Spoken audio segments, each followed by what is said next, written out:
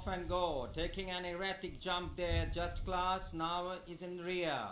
Noble Storm now shoots ahead by a length and a quarter of Miss Lee, traveling second in the center behind that Tesoro. Our Shaw is now giving in a company on the outside, lying on the fence is Chetak. Just Class is traveling wide outside and close last is Daring as they go towards 700 meters. Noble Storm by two and a half lengths to good of Miss Lee, traveling second on the fence. Tesoro now joining him in the center and a far side. Just Class is improving rapidly, traveling widest of all behind the Aushaw. Bull Chetak is in black cap and the back marker. They are daring, they're now preparing to turn for home.